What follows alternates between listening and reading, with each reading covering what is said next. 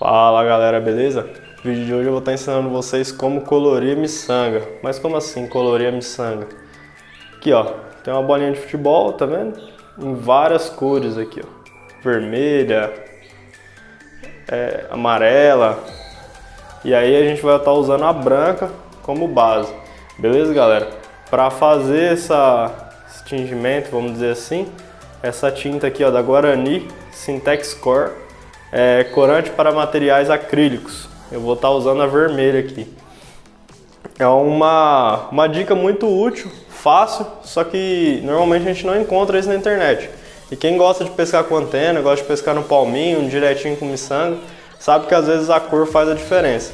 Às vezes você não está encontrando a cor que você quer da miçanga e se você tiver ela branca, você consegue chegar no tom que você quer com essa tinta aqui. É, são é um procedimento bem fácil de fazer.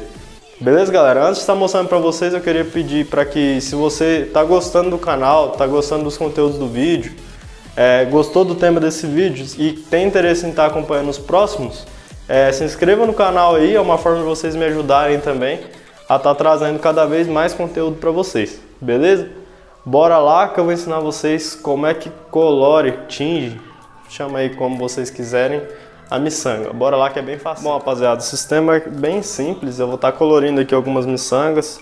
É, todas que eu vou estar tá aqui é branca. A miçanga com a base branca é mais fácil de colorir do que as outras, tá? Então o que, que vocês vão precisar? Mostrar aqui pra vocês. Aqui, galera, ó. Tá as miçanguinhas. Tem aí, ó. Bolinha de futebol, que é a minha preferida. Mexeriquinha, abacaxizinho, Todas com branco e preto. Vocês vão ver aí que fica bem legal. Aí galera, as miçanguinhas, uma caneca com um pouco de água, coloca as miçangas lá dentro, vou tirar um pouquinho aqui, ficou com muita água. É bem pouquinha água galera, o suficiente para cobrir as miçangas, tá? Aí ó. E aí o que acontece? Ligou o fogo aqui, beleza?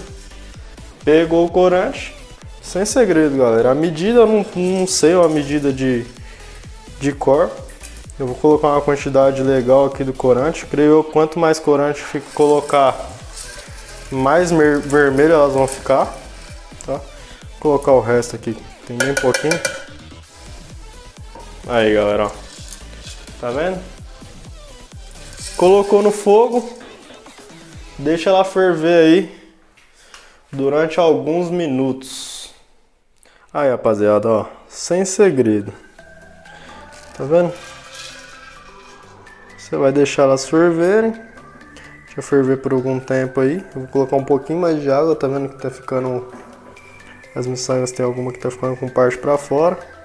A gente deixa ferver aí. E... Depois eu mostro pra vocês como é que é o, o restante do procedimento.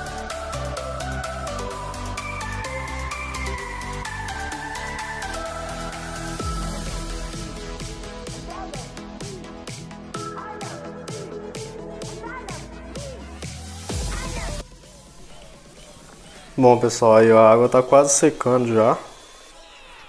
Tá? Praticamente seco aí. Aí vocês já estão vendo a coloração das miçangas, né? Bom rapaziada, agora ó, seguinte, sobrou só um pouquinho de água aqui, certo? Vocês vão fazer, vão pegar e escorrer esse restinho de água em algum outro potinho aí, passando na peneira.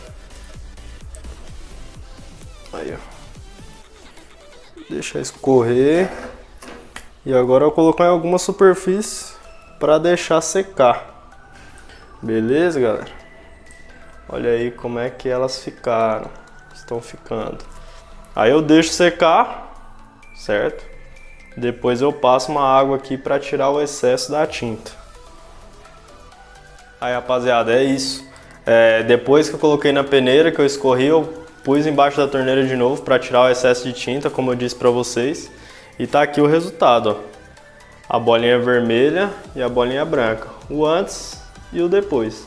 E vocês podem ver no detalhe aí que as partes pretas não somem, então fica muito bacana. Essa bolinha de futebol a mexeriquinha aí, galera. Ficou show de bola, né? É, rapaziada, ficou por volta de 7 a 8 minutos, 7 a 8 minutos no fogo alto. Pode ser uma dúvida, né? De vocês. Se vocês tiverem alguma dúvida sobre qualquer parte do processo, deixa aí embaixo nos comentários ou então me manda uma mensagem no WhatsApp, no Instagram, vou estar tá deixando aí embaixo na descrição do vídeo também. É, espero que vocês tenham gostado do vídeo. É, como eu disse no, no início, não esqueça de se inscrever no canal, ativar o sininho de notificações para estar tá acompanhando os próximos vídeos. Beleza? Valeu!